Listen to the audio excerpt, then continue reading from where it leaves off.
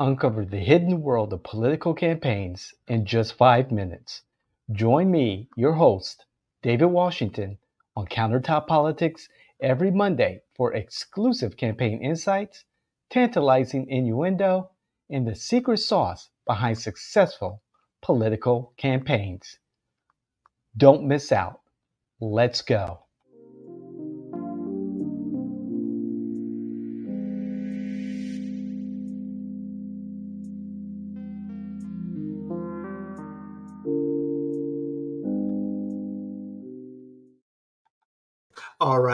Right, community. Hey, you know what time it is? It's Monday, and that means it's Countertop Politics with yours truly, David Washington. Of course, right around five minutes, maybe more or less, of uh, campaign insight, political innuendo, and the secret sauce to winning campaigns. And let me talk about this real quick. Um, I'm starting a 14, 15 day series, um, short content, short content available only on our TikTok channel, our Facebook Shorts channel, and or is that Reels? I can't remember. I don't do this. I have Cedric taking care of this stuff. But Shorts, Reels, and TikTok. That is where you'll find the newest content, 14 or 15 days of real life battlefield correspondence from yours truly in the world of canvassing. And that's why I'm wearing my door to door new safety vest that our canvassers and our field staff wear because I'm going to be reporting from different aspects of the community about canvassing efforts and other get out the vote efforts here in Central Florida during the election cycle of 2024 or what's remaining of it. So, saying that, let's get to our program. Okay, everyone. So, it's 14 days left, roughly two weeks before the election. Of course, vote by mail has already started for about two weeks now. And now, today, at least in Florida, early voting has started. Okay. And so what that means is that there are designated polling locations throughout every county where voters can go and vote early. They could take their vote by mail ballot into this early voting polling station and give that to the poll worker. And they will give you a ballot to fill out at the polling station, you do your thing, and you're done. You voted early, you get your little sticker that you voted, woohoo, and you're done. So, as easy as one, two, three. A lot of these polling places are uh, conveniently located throughout the communities. They're um, the times that they start and end varies, but typically around seven o'clock uh, or around eight o'clock, uh, or even sometimes nine o'clock, depending on the uh, supervisor of elections of your county.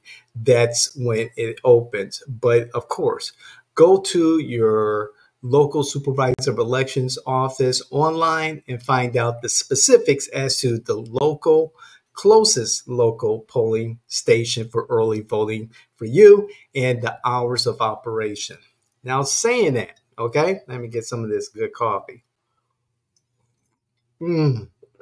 Now, saying that very quickly, we want to talk about early voting voters and going after those rejected ballots. There is information available from your state division of elections at least here in Florida, of those ballots that have already been turned in that have been rejected. Your local supervisor of elections office should have that information. And you, as a campaign consultant, as a campaign, as a, a, a candidate, your team, whoever is in charge of your data and your field operations, and of course, your campaign manager should be aware daily of those individuals who have one requested a vote by mail ballot, two turned in their vote by mail ballot, three either that ballot has been accepted or it's been rejected. Four, identify those voters who are likely to vote early. And more important than anything, your strategy, your plan, your plan to one, follow up with those vote by mail ballots that are still on people's countertops, like mine right there.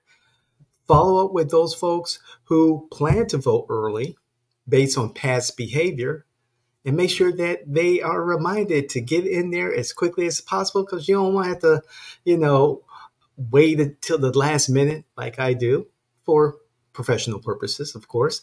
But, you know, anything can happen. You want to take that element of uh, uncertainty away from your constituency. Say, hey, encourage them to vote early for fear of having their ballot rejected for one reason or another, whether it's a signature, uh, whether there's missing information that is required, like the signature, just doesn't match up, or there's no signature on the envelope. Information like that that needs to be cured or corrected by the voter. So, right now, campaigns should be doing several things. Importantly, knowing that folks have a ballot in their hand, you have to go after those folks. Number two, understanding that those folks who have turned in their ballots, they're done. Take them off your contact list.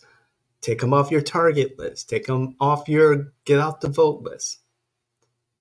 Those folks who still have their ballots, you identify them. Now, those folks who have turned them in and those ballots have been rejected, you need to keep track of that every day and have a plan, which I do, of how to go after those specific voters to cure or correct their ballot.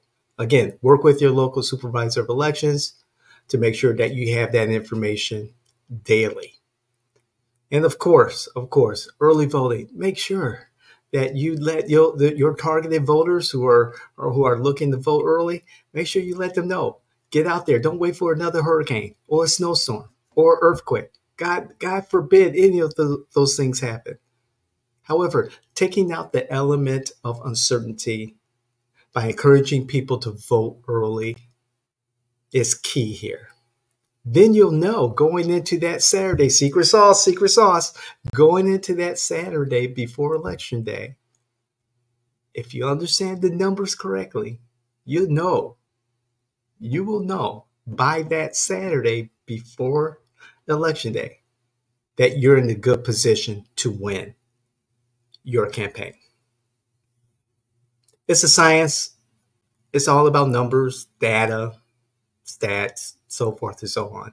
So, again, as part of your months long campaign plan, months long strategy, we're getting to the end. And sometimes at the end is what makes the difference between one, being sworn into office after November 5th, or sitting out and watching everyone do their thing. So I'm David Washington, and this is Countertop Politics. I appreciate everything that you do, watching, sharing our content. Please talk us up. I appreciate it for those folks who see me see me in the wild in the field, especially as I take on this new project. Check us out again. Reels, shorts, TikTok, okay? You'll find us, you'll find me discussing field operations in the scope of early voting in these waning days of the election. The title of the series is called Battlefield Correspondent. So look for it, okay? Daily. So look for you know information about this to be out today. This morning I did uh, a clip already. And, you know, also check out our wonderful podcast with Jimmy Afant from the margins with James Afant and David Washington. We are having a, a, a really good conversation, very good conversation, calling out the Democrats for what they are and what they're not. And, but of course, offering solutions because we're not going to bring up an issue unless we offer solutions. So, time's running out here. It's way past the five minutes. However, thank you again. I appreciate it. Don't forget the David Washington Show coming out with some great stuff. I did another interview with our friend Stephanie Quinn Yu on Live Now from Fox. Compelling. I've gotten some uh, great commentary and I've already responded. And of course, do not forget our flagship podcast. You can't make this shit up. We got some great stuff coming up. Hey, a new interview with Heather Pierre Joseph, the chairwoman of the Democratic Haitian Caucus. Great conversation. And again, Representative Carolina Amesty. Well, we took a deep dive. We talked.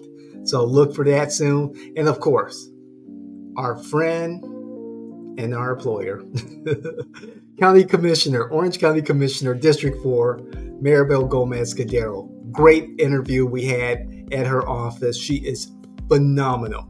So, you know, check that out. Again, this is Countertop Politics, and I am your host, David Washington. Look for us. Where is it? Right here, right here, right here. Door to Door I4. That's our canvassing sister company. Your canvassing, digital and traditional, needs met by us. Check us out. We'll see you soon. We're out.